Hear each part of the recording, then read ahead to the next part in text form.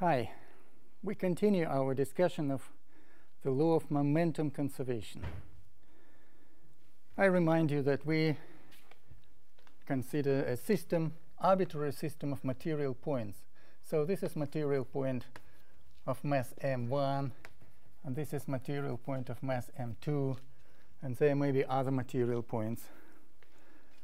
And these masses gen in general case move in arbitrary way and they interact between each other. And uh, the interaction between masses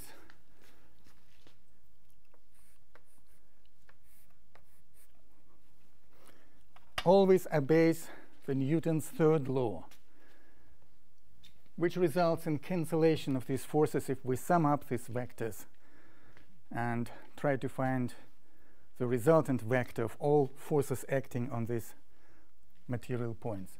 So apart from the internal forces of interaction, there are external forces acting on the system of particles from, from the outside bodies. So the external force may be something like F1, vector F1, and that may be vector F2, arbitrary vectors, arbitrary vectors of external forces, external interactions. And we have derived the following important result that if all external forces in our case equal to F1 plus F2 are equal to 0 then the total momentum of this system of bodies remains constant.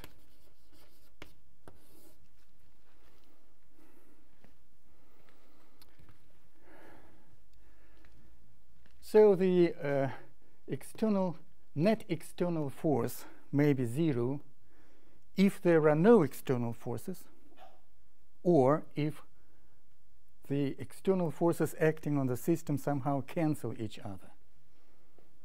There may be external forces, but they cancel each other. That's also uh, a frequent situation. Uh, so if the net or resultant vector of external forces, all external forces acting on the system of bodies is zero, then the momentum of the system of bodies remains constant. It means that uh, the initial momentum is the same as the final momentum, which can be measured over some period of time. And this vector of momentum was defined as m1 v1 plus m2 v2 etc. If there are many bodies, much more material points, then you have to take vector sum of all momenta of all material particles.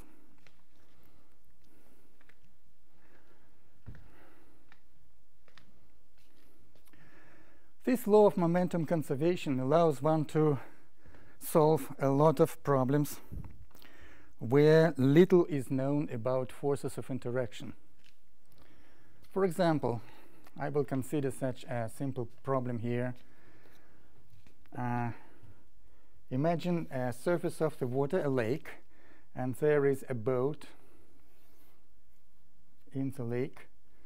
On the surface of the lake, a boat is floating, and uh, a boy wants to jump off the boat. He wants to dive into the water, and he dives, and his initial velocity, let it be u, the velocity with which the boy pushes the himself from the boat is given.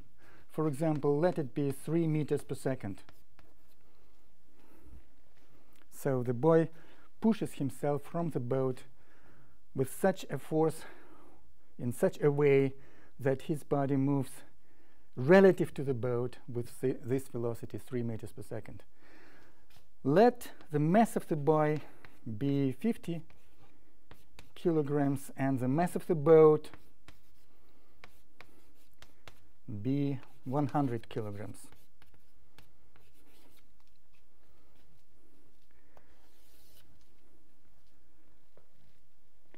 In this problem, we may find the velocity of the boy relative to the ground and the velocity of the boat relative to the ground. So this velocity is the velocity of the boy diving into the water relative to the boat. But as he pushes himself from the boat, the boat is pushed and the boat starts floating, it starts moving with some velocity, which we have to find. This is the velocity of the boat. And also, the boy moves with some velocity relative to the ground, relative to uh, the shores of this lake or the river banks, if this is in the river. So we have to find these two velocities, knowing nothing about the force of interaction. How does he jump from the boat? What is the force? How does this force depend on time? We don't know. And he doesn't know. He who dives. He may jump from the boat one once using certain power in his legs, and the second time he may use different way of, of diving and different power. So, so we don't, he, even he who, who dives, he doesn't know what will be the uh, function of the force of interaction of his, between his legs and the boat versus time. It's an, an unknown function, and we know nothing about this force. But we don't need it, actually. The law of conservation of momentum allows one to solve this problem without considering forces of interaction. That's the main advantage of this law. It allows one to solve problems and to find solution knowing nothing about the forces of interaction. So, if the momentum of the system of bodies remains constant, then the initial momentum is equal to the final momentum. The initial momentum total vector of initial momentum equals the final momentum. And what is the initial momentum? If, the if initially the boat was at rest, and the boy here was at rest, the initial momentum is zero because the velocities are zero. The velocity of the boat and the velocity of the boy at, at initially was zero. So the initial momentum and the final momentum of the system remains zero. Why is momentum conserved here? Because there are no external forces acting on the boat. Is that absolutely correct? No. There are some forces. Force of gravity acting on the boat, directed vertically downward, and the force of buoyancy, which is the reaction of the water, is directed upward. And these two forces cancel each other. They cancel each other. Also, force of gravity is acting on the boy who jumps from here. And due to this force of gravity, he will go down and he will dive into the water. But this force of gravity is not balanced. When, when the boy dives, he pushes himself horizontally. Nothing is balancing the, the gravity pull acting on the boy. So this force is not balanced. Can we use the law of conservation of momentum in this case? If there is an external force, the answer is yes, we can use it because the time of interaction between the boy and the boat is very small. And during this time, small interval of time, the action of external force will have will be very very small. It, it will be negligible. That's always the case. When the time of interaction is small, we may neglect the action of some other forces, especially forces which are perpendicular to the velocity and which, which do not change the velocity immediately in horizontal direction. Especially these kind of forces which are which is the force of gravity acting on the on the boy. Th this force is vertical, and the boy the boy's velocity is horizontal. So the force of gravity acting during the short time of interaction between the boy and the boat cannot change the situation here. We may neglect it because the time of interaction is very small and because the direction of, of the external force is perpendicular to the velocity. So we may, in, in this case, we may use the law of conservation of momentum.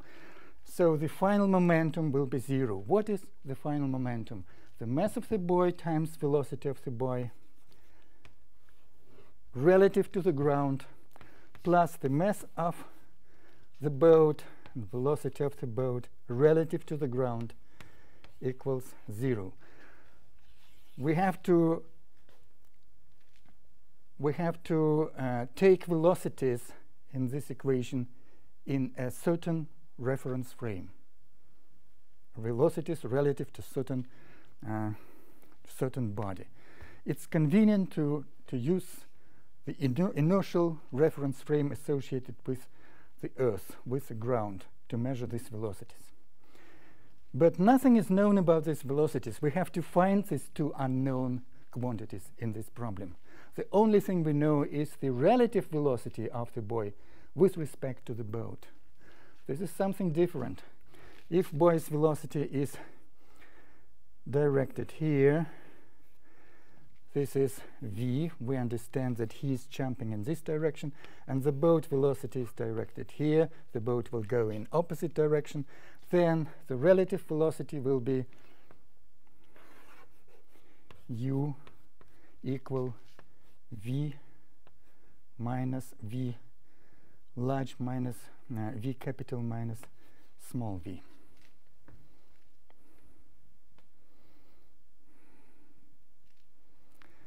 uh, minus in vector form.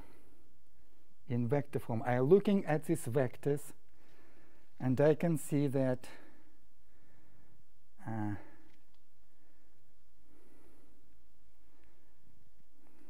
I can see that these vectors are related um, are related so that the velocity of the boat, for example, the vector of this velocity, and all these are vectors, velocity of the boat is sure to be equal to the uh, velocity of the boat is u no uh, something's wrong here. Velocity of the boat is u minus v. That is that's correct and that is incorrect that's when I when I uh, when I recall that this uh, when I recall that these quantities these are vector quantities then I have to I have to uh, take into account the vector property vector vector character of these properties and then then the velocity v will be equal to uh, small. Even, even this is incorrect. That will be v minus minus u. That, that's that will be correct.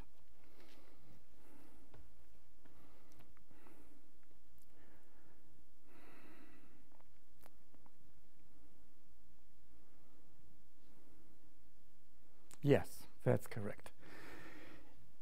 In order to write down the correct relationship between vectors. It's always useful to put these vectors in slightly different way. It's, it's useful to draw these vectors uh, like in some uh, triangle.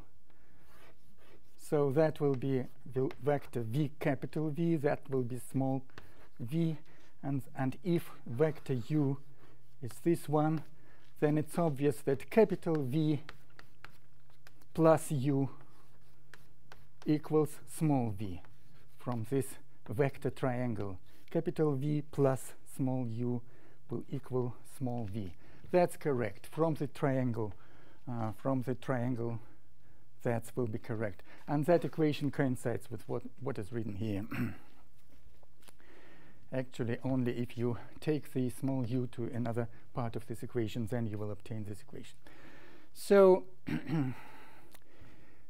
in our solution, we must find scalar quantities. We, we don't have to find vectors. The, the problem is about the scalar quantities of these velocities. And we know the vector equation, how to uh, go to scalar quantities if you know the vector relationship between the vector quantities. we must use, we must choose a axis, some axis, like x, and we must choose uh, in this axis the positive direction. So all vectors looking in positive direction will be will have positive quantity, and all vectors having uh, opposite direction will have negative uh, quantity. So in this way,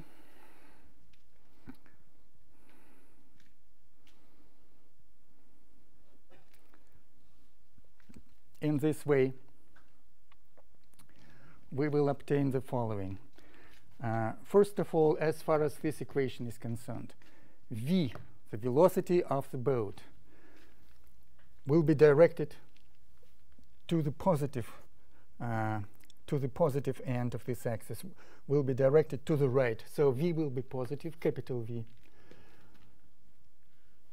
u, the velocity of the boy relative to the to the boat, will be directed in will have opposite direction, and v, this this quantity will have also uh, negative direction because the velocity of the boy will be directed to the left. So that is opposite to positive direction, and that will be negative. So from this vector equation, we come to scalar equation by introducing here signs. Somewhere we, we put positive sign plus and somewhere minus, depending on what is the direction of this of, of uh, corresponding vector. That's the general procedure to obtain correct uh, that's the general procedure to obtain to obtain scalar uh, quantities, scalar equations out of vector equations. Also here, this is the this is the vector equation, and in order to obtain scalar equation, we must take into account the direction of these vectors. So vector v capital is the vector of the boat velocity. It's directed to the right, so it will be positive m capital V. And small v must be directed up in the opposite to the left. So small v must be negative. It will be minus mv equal to 0. So we obtain out of two vector equations, we obtain two scalar equations after projecting these vectors on the chosen axis in, in this case, a horizontal axis.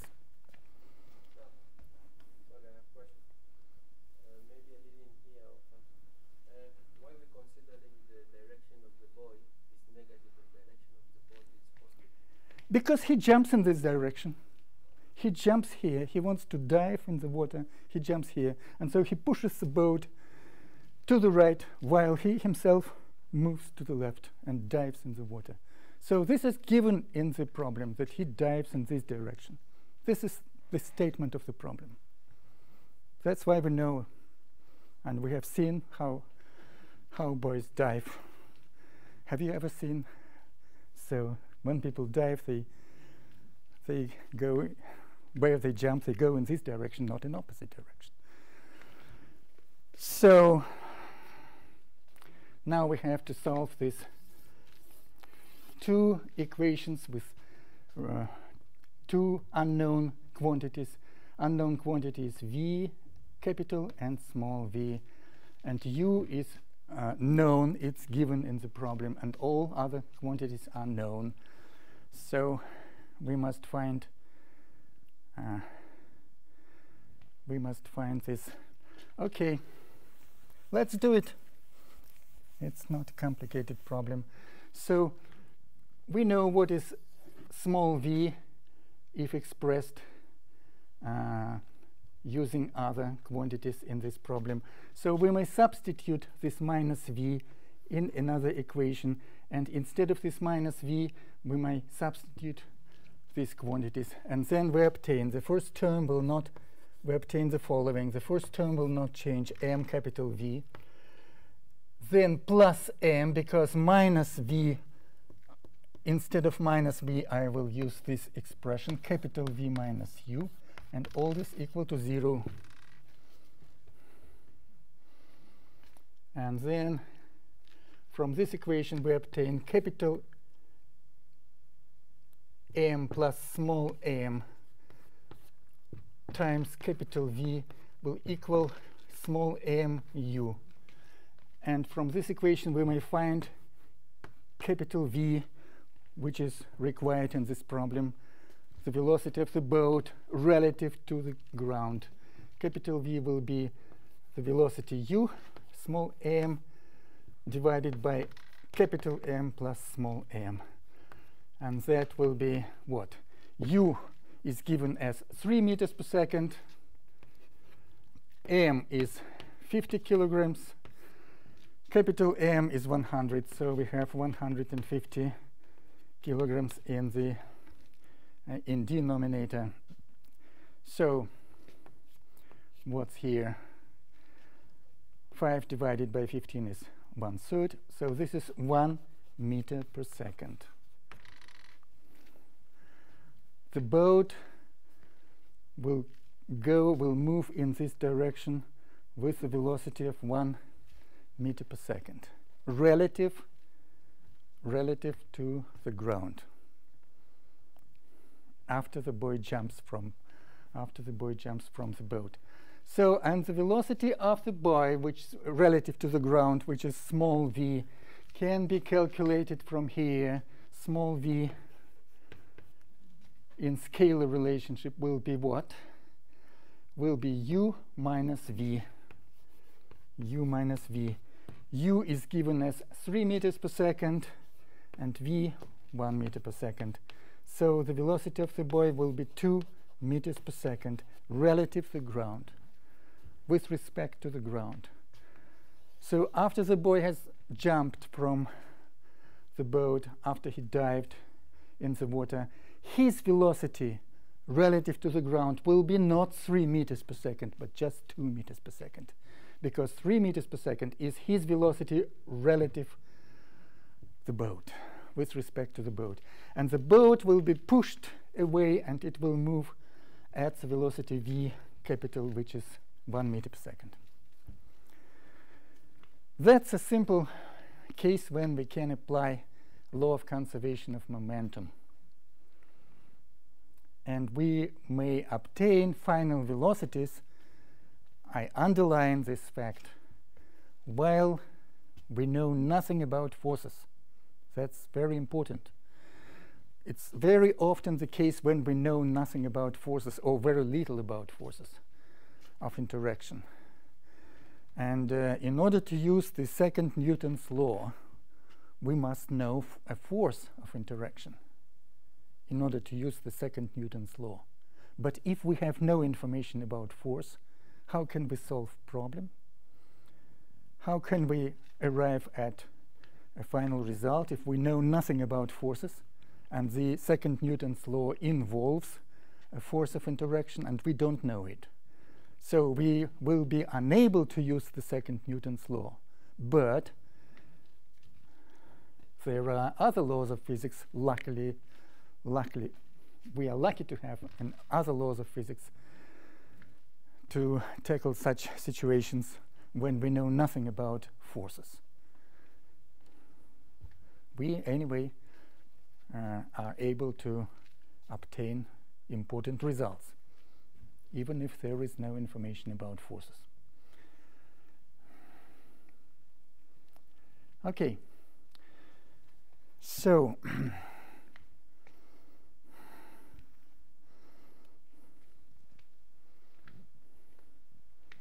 a definition.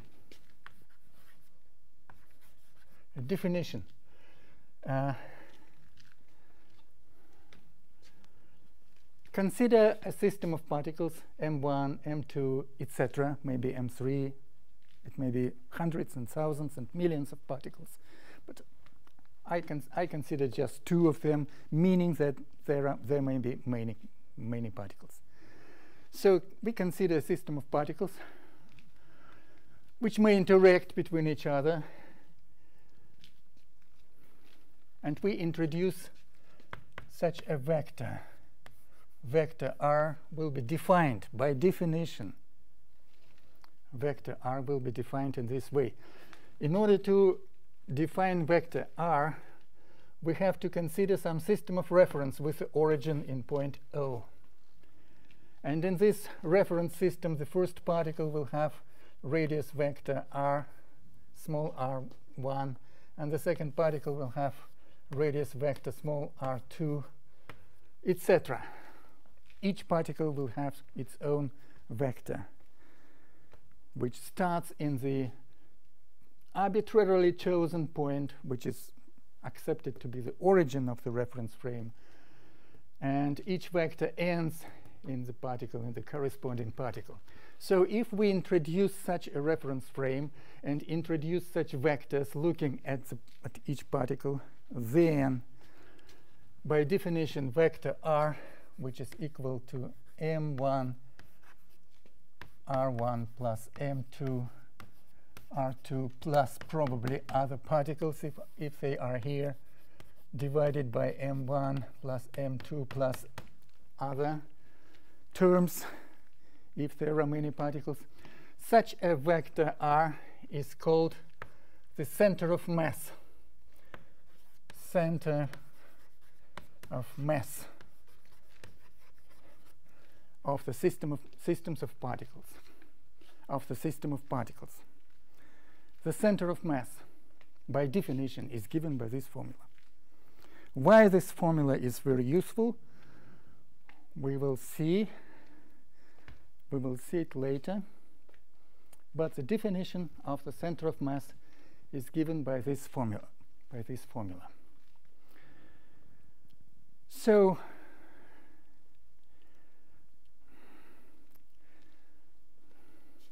uh, from this definition, it's easy to derive some properties of this uh, of this vector. Suppose the origin of coordinates point O coincides with the end of vector r, wherever vector r may be. I know that vector r should be somewhere here. So coincides that point O is, is chosen to be here. The beginning of vector r and the end of vector r will be at the same point. It means that vector r will be 0. If I choose such a particular uh, reference frame in which the origin of this reference frame coincides with the end of vector r, then vector r will be 0. In this case, all this expression will be 0, and I will have m1 r1 plus m2 r2, probably other terms, equal to 0.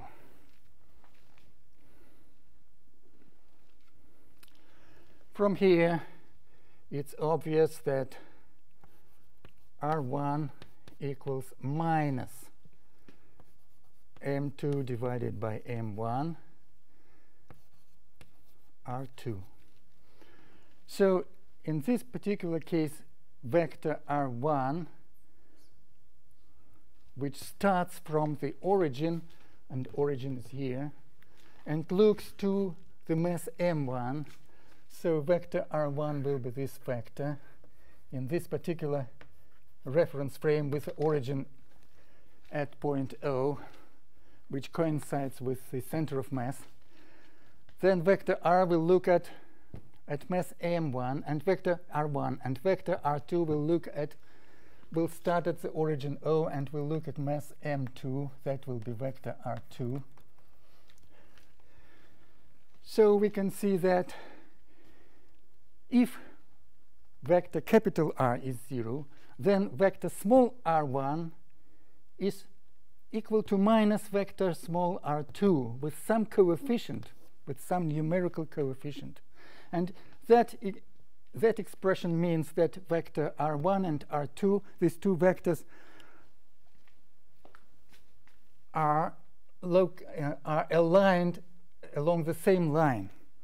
They are parallel to each other and oppositely directed. Parallel and oppositely directed. It, means that they are directed along the same line. And this line can, is connecting the two particles.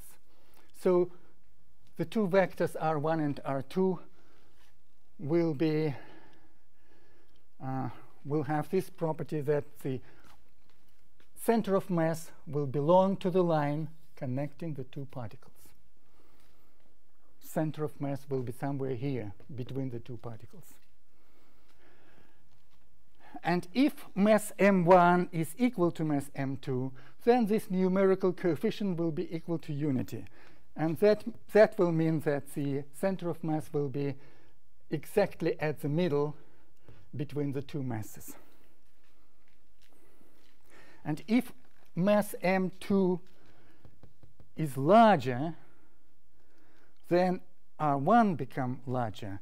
So if mass m2 is too heavy, then the center of mass will be closer to mass to the heavy mass and farther from the light mass. So all this is obvious from this. All this is obvious from this uh, formula. And we obtained this formula when we assumed that the reference frame origin coincides with the center of mass. Then vector r is zero. But what if uh, what if the origin of the reference frame does not coincide with the center of mass? Then vector r capital will not be zero. It will look here. That will be vector r.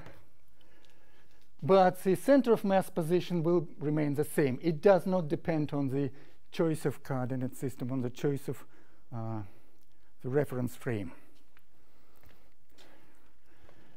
So for such uh, a system of two particles, the center of mass of this system belongs to the line connecting these two particles and is located somewhere between these two particles. That's the center of mass of the system of two particles by definition. Suppose the particles move somehow, that is, their position changes in time each particle may, may be displaced and it moves with time arbitrarily. It means that vector r will also change in time and in some short period of time the change of vector r, the change of the center of mass, the center of mass will also move. If this particle moves, then the center of mass will also change its coordinates, it will move. So the displacement of the center of mass will be given by this formula. That will be m1 displacement of the first particle plus m2 displacement of the second particle, etc., divided by m1 plus m2. So if each particle moves, then uh, during some time interval, the displacement of particle m1 will be something denoted here by delta r1, and this displacement of particle m2 will be delta r2. And so this formula will give you the displacement of the center of mass of the system. Why this formula? Because this is the consequence of the definition of the center of mass. This is the definition, and this is the consequence. Now, if we divide this formula by delta t, and if we recall that delta r divided by delta t is by definition the velocity, vector velocity, in this case, that will be the velocity of the center of mass. It's not centimeters, it's the center of mass. So I, I put points here in order to not to not to take it for centimeters. So if I divide this equation by the time interval delta t during which all the displacement displacements took place here, then I will obtain that the velocity of the center of mass equals m1, the velocity of the first particle, because I have to divide this term by delta t.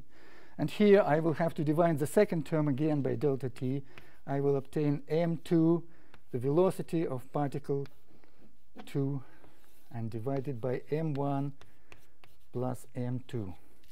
So that's the expression for the velocity of motion of the center of mass of the system of particles in case these particles are not at rest but move somehow. By the way, if all the particles are at rest, then v1, the velocity of the first particle is 0, and the velocity of the second particle is 0, and then the center of mass velocity will also be 0. If, if they are at rest, then the velocity of the center of mass will be 0.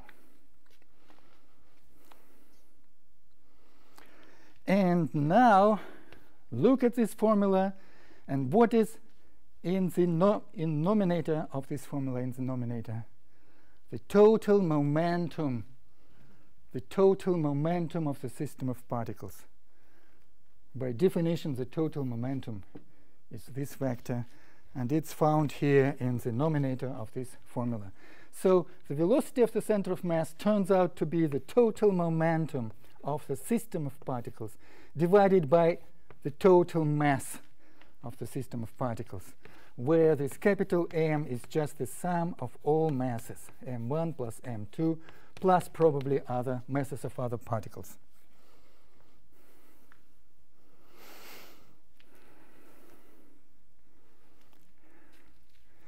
So we have found something interesting we have found that the total momentum of the system of particles equals the total mass of the system of particles times the velocity of the center of mass.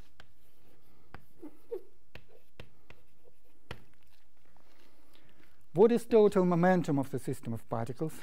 It's given by this formula. total momentum of the system of particles. What is the total mass of the system of particles? It's just the sum of all masses of all particles. What is the velocity of the center of mass? Is it the velocity of some particular particle? No, no. Center of mass may turn out to be somewhere in the vacuum between particles. So if these are planets, two planets, the center of mass of these planets is in between them, that is somewhere in vacuum. There is no particle in this point just empty space.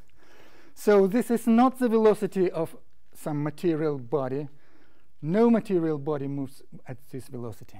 This is just the velocity of some imaginary point in vacuum, in empty space, the velocity of some imaginary point whose coordinates are defined by this formula. The velocity of the center of mass of the system of particles. So that will be another definition, another interesting uh, formula, another consequence of the definition of the center of mass. We may use the center of mass velocity to measure and to calculate the momentum, total momentum of the system of particles.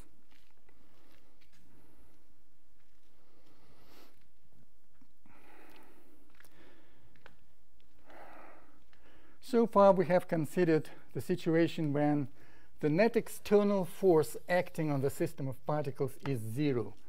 In this case, the total momentum of the system of particles remains constant. But what if the, the net external force is not zero? What, what if the net external force is not zero? Then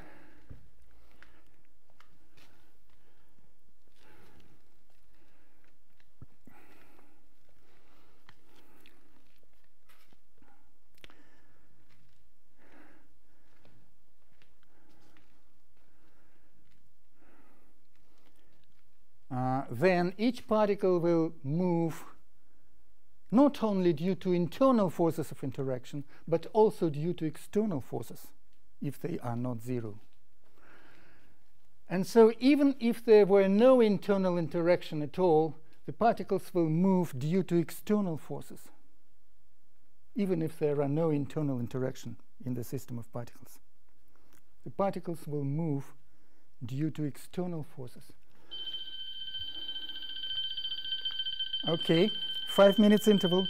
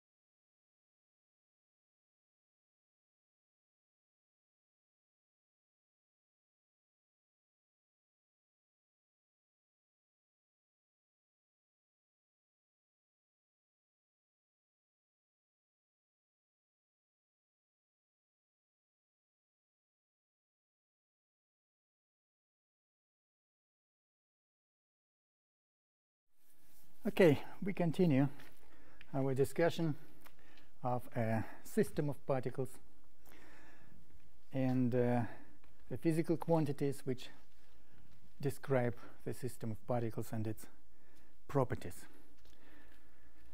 There are many properties in the system of particles. For example, the total mass, which is simply the sum of all masses of all particle particles. Another interesting property is the center of mass of the system of particles. This is a point which does not coincide with any particular particle, any particular mass.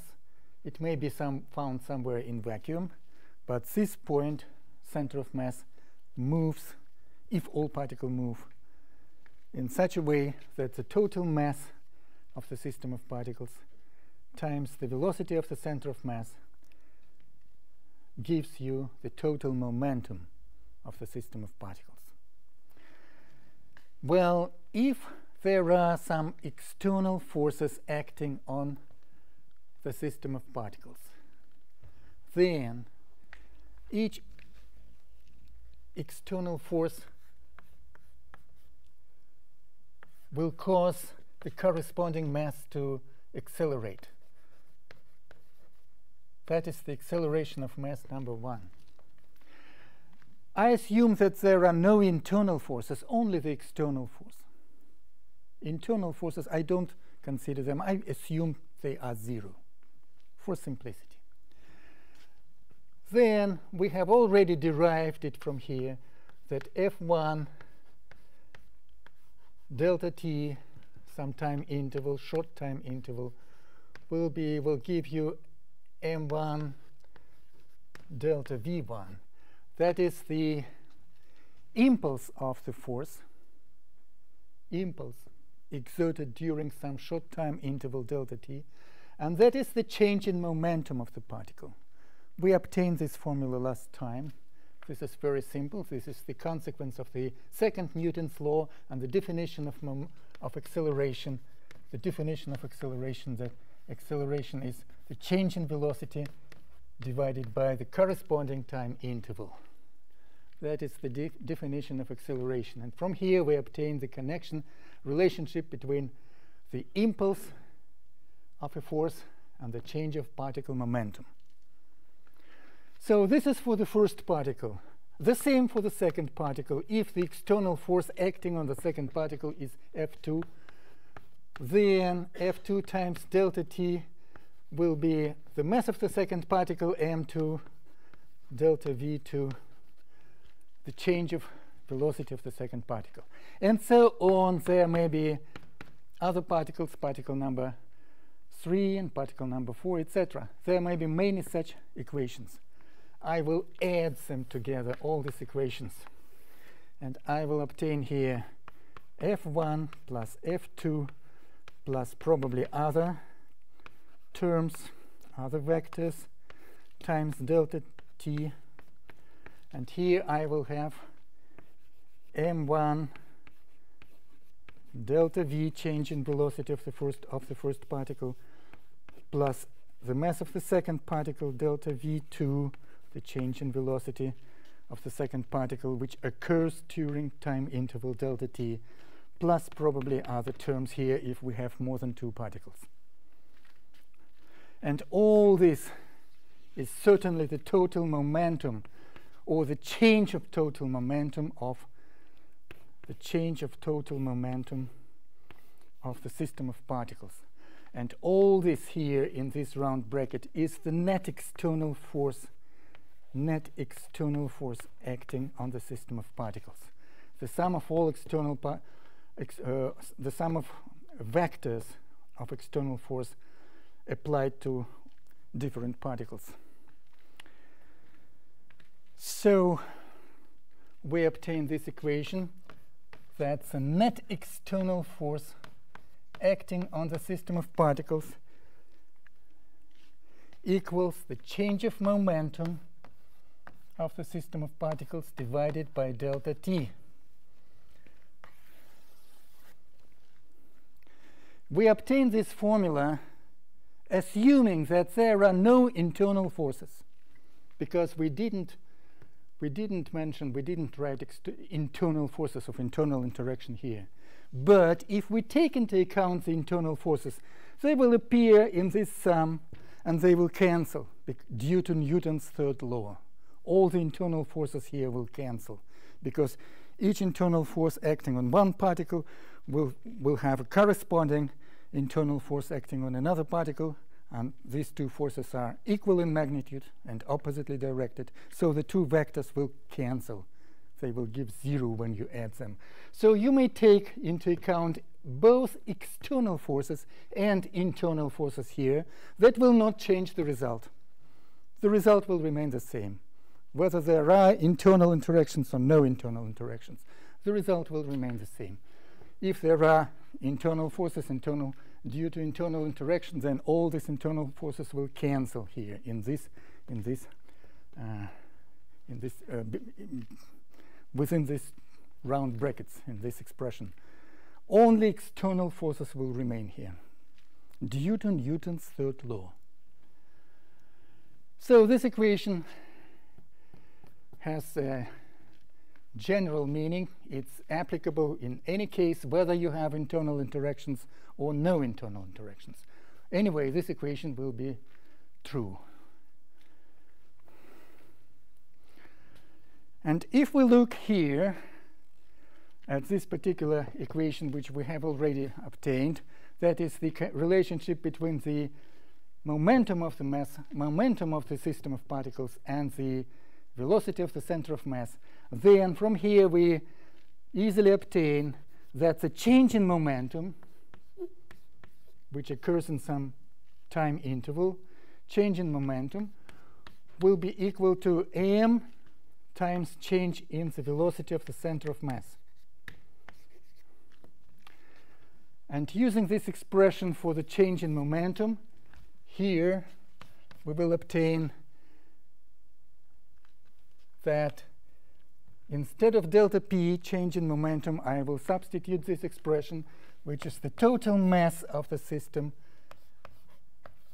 delta v, the change in velocity of the center of mass, divided by delta t. And by definition, delta v divided by delta t is acceleration. This is an acceleration by definition. So we obtain the same, we obtain uh, this result the net external force acting on the system of particles equals the total mass of the system of particles times acceleration of the center of mass of the system of particles. This equation looks very much similar to the second Newton's law.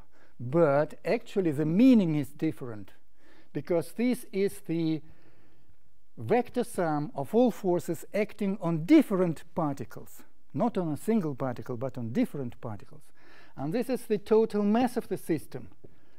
And this is the acceleration of some imaginary point which, is, which may be located in vacuum.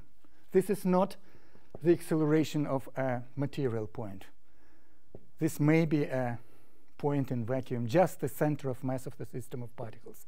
So this equation has a different meaning. It's not exactly the second Newton's law, regardless of the fact that it looks like the second Newton's law. But the meaning is different. Meaning of each term here is different. In the second Newton's law, this should be the acceleration of the body of mass m and the force F is applied to this particular body. That is in the second Newton's law. You have some body, some force applied to it, and the mass, and it, its acceleration. But here, this force is not applied to this particular body. This force, this is the vector sum of forces applied to different points of particles. And this is not the acceleration of a particular body. This is the acceleration of some imaginary point in vacuum. And this equation was obtained for any system of material particles. Any arbitrary. What does it mean? What is the arbitrary system of material particles?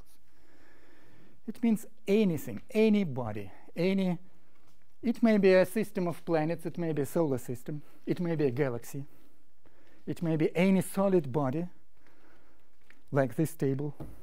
This is also a system of particles. It may be a liquid, a water in the glass. It's also a system of particles.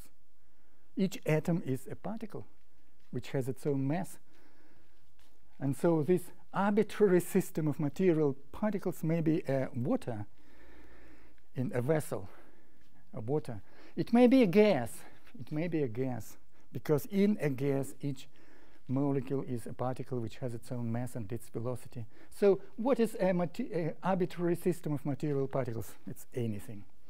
It may be a gas in a vessel, it may be water flowing in the river, it may be any solid body, it may be a solar system, it may be a galaxy, it may be anything.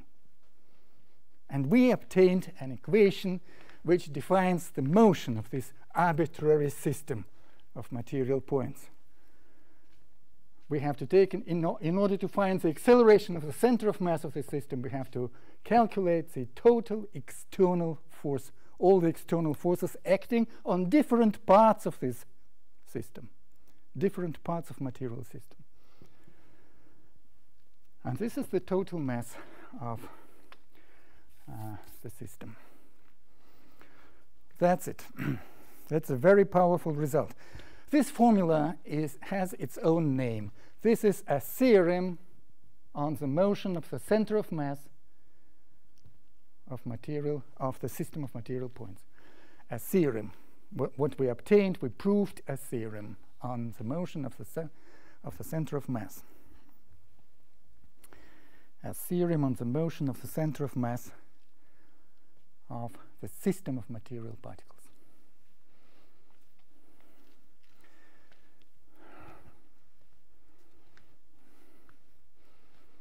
This is a very powerful theorem because it can be applied to any, to arbitrary system of particles.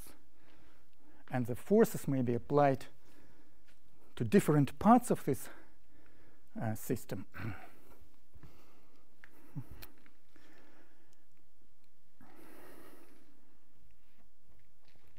okay, enough of, of the theoretical considerations let's consider some problems. Let's consider some problems.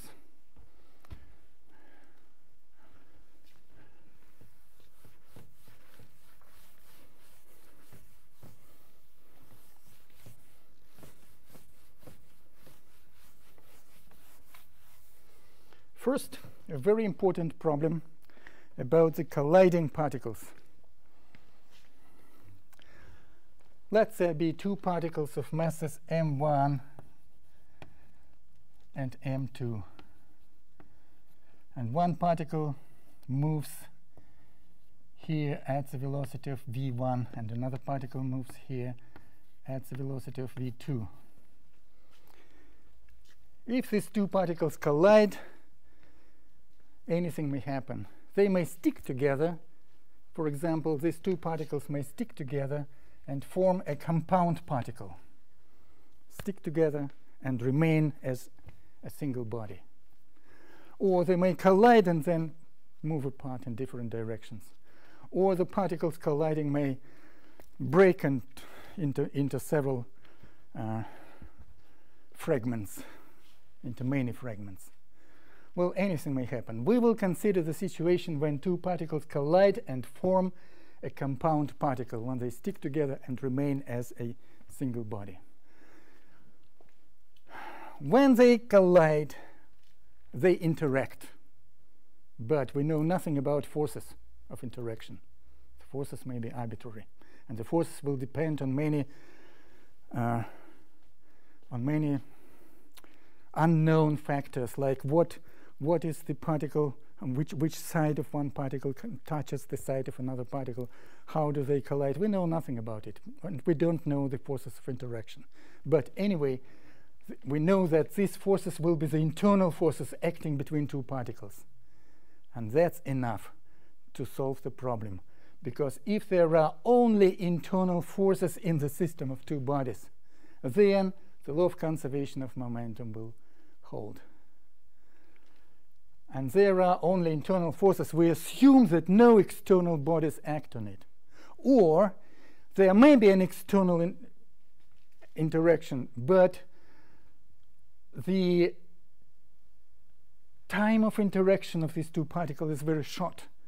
They collide and stop, and this interaction is takes just portions of a second, small portion of a second. So the time of the, the duration of interaction is very short. And therefore, during the interaction, the internal forces will be much, much greater than the external forces, like the force of gravity. In this case, we may neglect the external forces because they are either absent or very small compared to the internal forces of interaction. Then we neglect the e external forces and take into account only the internal interaction. And if there is only internal interaction, only internal forces, then the law of conservation of momentum holds. That is, the initial momentum must equal the final momentum.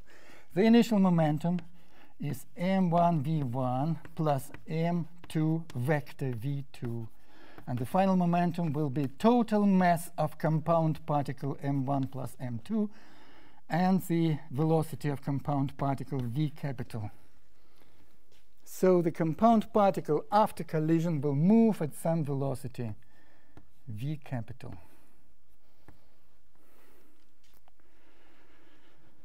And we have to find this is this is just the law of conservation of momentum. That is the initial momentum of the system of particles, which consists of the momentum of the first particle plus the momentum of the second particle. So that is the total initial momentum before the interaction, before the collision. And we know that the momentum will not change. It will remain the same because only internal forces are present here and should be taken into account. So the momentum before the collision should be equal to the momentum of the system of the same particles after the collision. And we know that after the collision, the particles stuck together, and as a single body of, ma of mass m1 plus m2, they will move at some velocity v capital. And this velocity v of the motion of compound particles can easily be easily be found from this equation. That will be m1 v1 plus m2 v2 divided by the sum m1 plus m2. That's the velocity of compound particle after collision. If the particles stuck. Why are we assuming, assuming that uh, after the collision, their velocities becoming the same, the, the two bodies? Because we assume that two particles stuck together we assume and we consider this particular case. Certainly, you are right, particles may collide and, and run in different directions. For example, this particle may rebound here, and this particle may go in this direction after collision. Sometimes it happens, but also sometimes the particles stick together, and we consider only this situation. And for this particular situation, when the particles stick together, for this particular situation, we have found the velocity of the compound particle after the collision. Does this formula tell you something? Does it remind you anything? This is the same formula which was written for the velocity of the center of mass of two particles. The same formula. So, this is the same formula which means that the velocity of the compound particle after collision and after they stuck together will coincide with the velocity of the center of mass of two particles. So this is exactly the velocity of the center of mass of two particles. That's another reason why the center of mass notion is so important. It appears in many problems. It turns out to be important in many situations. The center of mass. It turns out to be the velocity of the compound particle which appears after the collision if in result of collision the two particles stick together and remain together for, for considerable period of time. Sometimes in nuclear physics, such a compound particle later will separate into several fragments, sometimes. But while the compound particle exists, its velocity will be defined by this formula, which coincides with the formula for the velocity of the center of mass of two interacting particles. So the center of mass is a very important, uh, very important uh, characteristic, very important concept which describes a system of particles.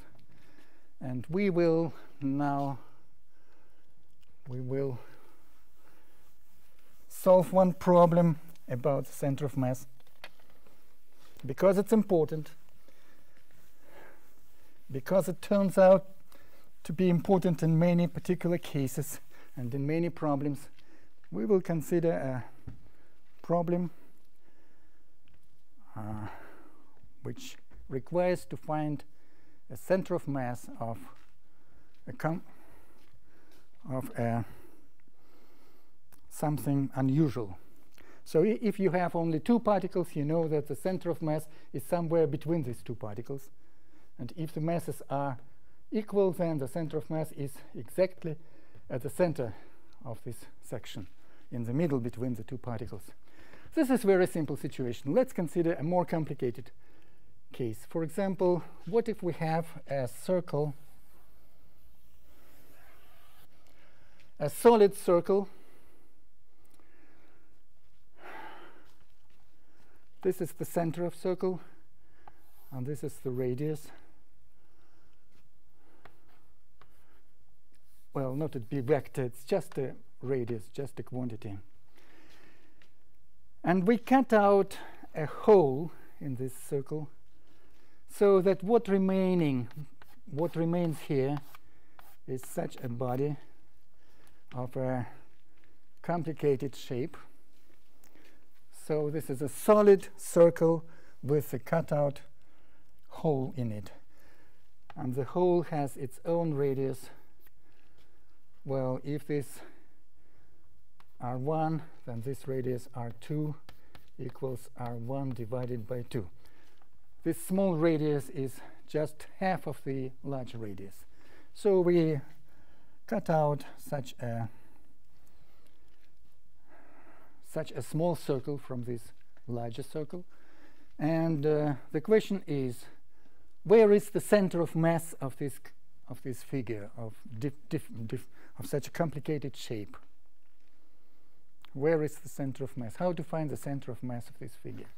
So we have discovered, we have introduced the center of mass by this formula. This is the definition of the vector which defines the center of mass of the system of particles. This is the definition. And we discovered that center of mass plays important role in many, many phenomena. We found the center of mass in the theorem on the motion of the center of mass, where a is the acceleration of the center of mass. And we found that the center of mass is the velocity of the compound particle when the two particles collide. So the center of mass is important. How to find the center of mass of such figure? According to this formula, we have to consider small pieces, small pieces of matter.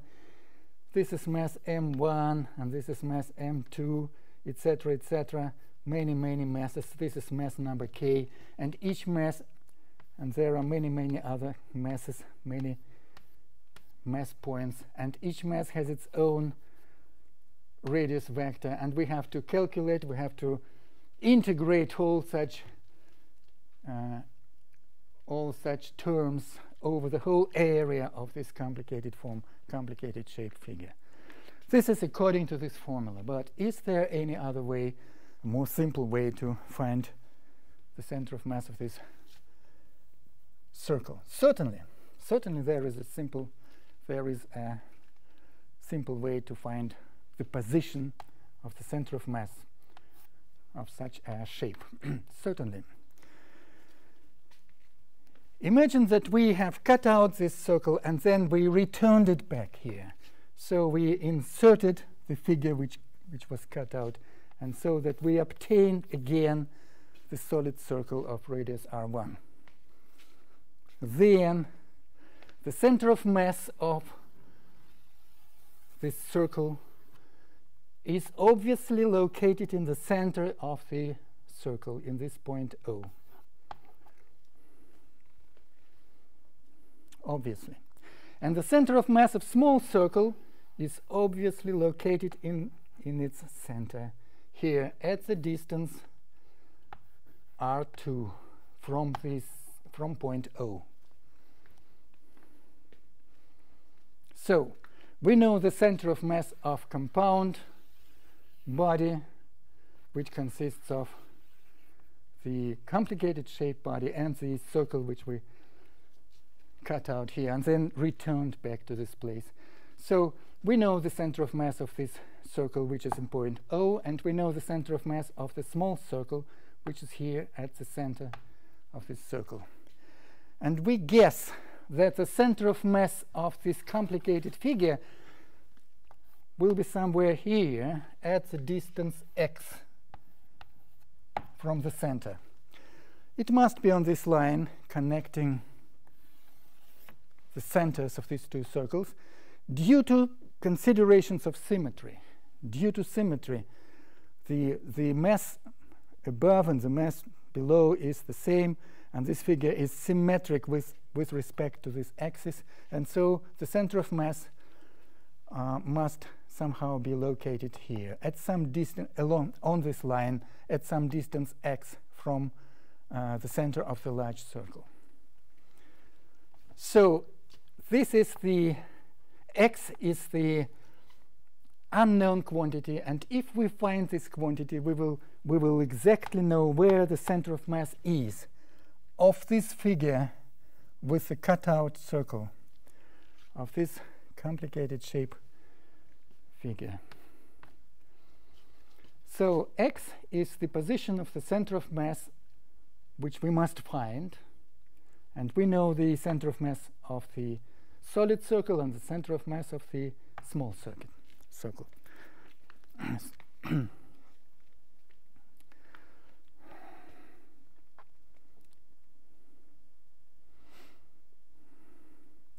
so, when the small circle was returned here, and we had this, the solid large circle, the center of mass was at point O.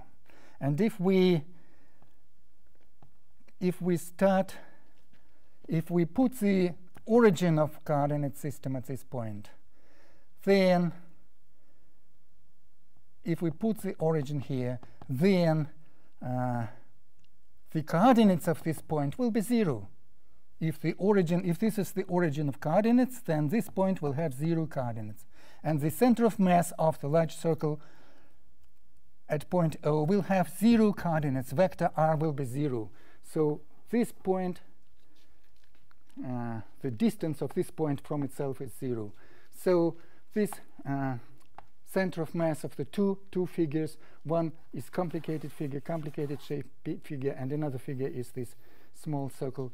Uh, these two compound, uh, these uh, two bodies ensure that the center of mass is here. So this is this uh, vector r.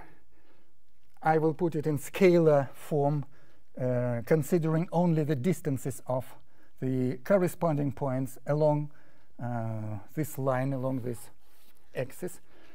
That will be zero if the if we know that the center of mass of the large circle is in this point A, and if we put the origin uh, coordinates origin co origin of coordinate system here at the same point, then this point will have zero coordinates, and we know that the center of mass of the large circle is here. So R is zero for the large Uh, for the large circle. And according to this formula, it will be equal to the mass m1 of this, what remains of the large circle, times the distance to its own center of mass x, plus the mass m2 of the cutout figure of the small circle, times the distance to its center of mass R2 divided by the sum of two masses. Uh, suppose the original mass of this large circle, um, solid circle, was M, capital M.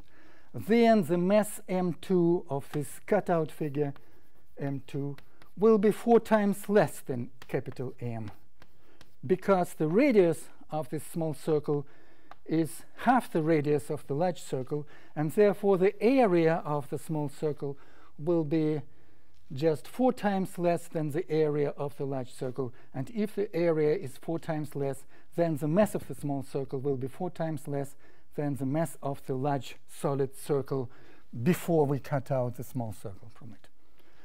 And therefore, the mass m1 will be equal to what remains uh, after we take off this small circle from the large circle. So it will be equal to capital M minus 1 fourth of capital M. It will be 3 M divided by 4. So we know the mass of the complicated shape figure, and we know the mass of the small circle, small solid circle. So if we know M1 and M2, we can substitute here, and we obtain 0 equal what? M1 is 3 capital M over 4 times x plus m2. m2 is just capital M divided by 4 from here times r2. And from, from this equation we can find x. x turns out to be negative, but this is natural because this is, uh, if positive direction is to the right, then any distance calculated to the left of the uh, origin will be negative. So x will be negative from here. It will be minus am divided by 4 and divided by 3 am times 4. And R2, R2 is half of R1. This is just R1 divided by 2. That's it. We can cancel, obviously, and obtain that x equals r1 divided by 6. So this distance x is just one-sixth of the large radius r1. One-sixth part, r1 divided by 6. And that will give you the position of the center of mass of this figure of complicated shape when we cut off the uh, circular, a solid circle here and take it away. The remaining mass distribution is complicated, but the center of mass will be here at this point. Yes? Why have you assumed uh, R to be zero? Uh-huh. R is the radius vector which starts in the origin of coordinates, in the origin of coordinates, in the origin, and looks into the center of mass. But if the origin coincides with the center of mass, then the vector r is 0. It starts in the same point where it ends. This is the case I have chosen to consider. This is very convenient. This is just for the sake of convenience. I, I have chosen this point. I know that this point is the center of mass of the large circle before we cut a small circle. The center of mass is here. And so in order to have zero coordinates of this center of mass, I choose the origin of coordinate system here. Therefore, I, I obtain that r is 0. I could have chosen the coordinate origin to be here, for example, at this point, O prime. I could have chosen such a coordinates yx, yx. So if the origin was here, then vector r would start here and end here, then that would be vector r. And it would not be 0. But it's not very convenient. Uh, the answer will be the same, finally. I will solve the problem, and I will obtain the same point for the center of mass of this complicated form shape, complicated shape figure. The same point will be found for the center of mass. But the calculations will be such somewhat more difficult. Well, in order to ease my life in order to make the cal calculations simpler, I have chosen the coordinate origin in the same point where the center of mass of the large circle is, so that r will be zero. That's it. That's my choice. That's for the purpose of convenience, nothing more. We always choose a coordinate system so that it would be convenient for us, so that the calculations in this chosen coordinate system will not complicate the, uh, the solution. We always choose the coordinate, coordinate, coordinate system and the origin uh, at the point where it's convenient, for the sake of conveniency. So r is equal to 0. This is not a law of physics. this is not a law. This is our choice. This is the law of physics, which does not depend on our choice. We may, we may choose any coordinate system. In any coordinate system, it will be a law of physics. But here, r equals 0. This is not the law of physics. This is just our choice of the origin.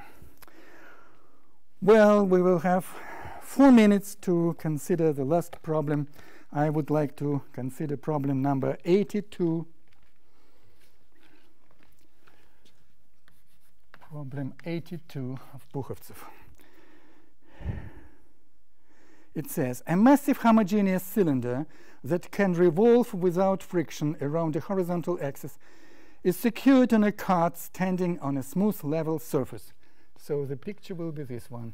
A heavy homogeneous, massive homogeneous cylinder which can rotate about this axis perpendicular to, to the blackboard and it's fixed on a cart which can move along the horizontal surface without friction. A massive cylinder, homogeneous cylinder, that can revolve about point A, can easily revolve about this point without friction is secured on the horizontal on the horizontal cart standing on a smooth surface of the table and where it can move without friction. A bullet flying horizontally at some velocity strikes the cylinder. So a bullet here strikes the cylinder and the impact is absolutely inelastic. You know what is inelastic? Is when when the two particles stick together or when they have the same velocity after the collision, when they don't go far away, far apart from each other. Totally inelastic. So the bullet strikes the surface of the cylinder and the, this is an inelastic interaction. and then after striking the cylinder, the bullet drops here on the cart and remains here. So it flies, it strikes the cylinder, and after inelastic collision, drops here. Does the speed of the cart that it acquires after the impact depend on the point where the bullet strikes the cylinder? So the bullet may strike the cylinder here and then fall down, or the bullet may strike the cylinder here and then falls down, or the bullet may strike the cylinder exactly opposite the axis of rotation and then fall down on the cart. Well, anyway, the bullet has some momentum. And this is the closed system of bodies. So the momentum must be conserved according to conservation of momentum law. So the momentum of the bullet will somehow be imparted to the cart, especially because the bullet will fall down here and remain remain on on this cart. So this looks like a, this looks like an inelastic collision. But if the bullet strikes here, the cylinder will rotate in this direction if the bullet strikes here, the cylinder will rotate in different direction. And if the bullet strikes here at the center, the cylinder will not rotate at all. Will it influence somehow the final velocity of the cart? Will the velocity v depend on where the bullet strikes?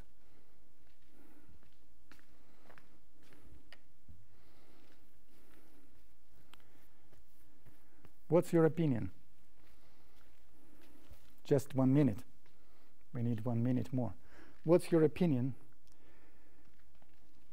Will this velocity v, final velocity of the cart, depend on where the bullet strikes?